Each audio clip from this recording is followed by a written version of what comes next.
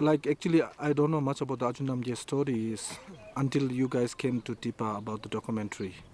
Since then I learned a little bit about Acho Namgyal and I know like I'm a musician but uh, my teachers never told me about Acho Namgyal's story. So I find it very interesting and not only interesting for myself, I think this, this small documentary movie and the story of Acho Namgyal will help many young Tibetans and especially those Tibetans who loves Tibetan classical music and the Tibetan instruments. For them, I think it's very important. They will learn something about Acho Namgyal's life story and also something about the classical Tibetan background of Tibetan classical music, uh, about Ranye, all those instruments you see. So I really, I'm, I'm really happy that uh, your crew have chosen me to help with you. You know, like I, I, was very, very much happy to be part of your crew, team. I am like other, any other like Tipa artist. You see, I was a student for in Tipa for almost like uh, now 30 years. You know, and I have learned music, dance, song, religious dance, Tibetan opera, and everything. I have passed all my uh, what do you call it? Like a uh, as an artist senior junior and you know see I have done my senior diploma for the Tibetan music dance.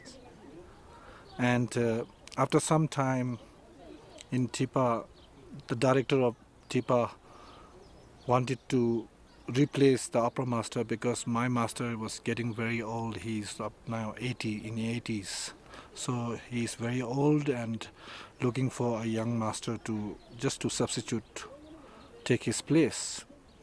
And then the Tipa instructors, uh, they asked me to take the responsibility and uh, first I couldn't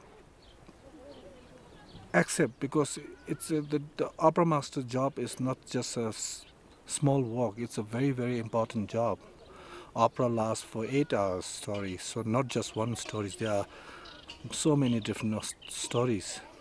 So i found it a little like uneasy for taking the responsibility. Since then my master asked me to take the responsibility. Then i thought like okay you know i will try. And then since then i was like walking walking walking And after some time, then I thought, okay, now it's good time for me to take the responsibility. And right now, I, I'm just try my best to teach the Tibetan opera to the younger Tibetans in, in my school.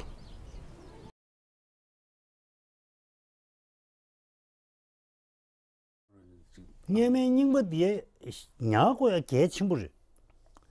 Yine di eh, 사바 소유주 가게 요마르 수수 거리 야도 내 선지로 닝웨 닝웨 샤 사바 선의 야도 닝마고 사바 선나 근 간선 내 라주와 띵에 좀 닝웨 닝웨 직샤 안 내미 코라야 시코 샤베 사바 가르수 있는 선나도 직지 다 코라 베다가 디 쇠샤 땡기 때는 간선다 라주와 닝웨 디 인지미지 투나난 거야 지금 관계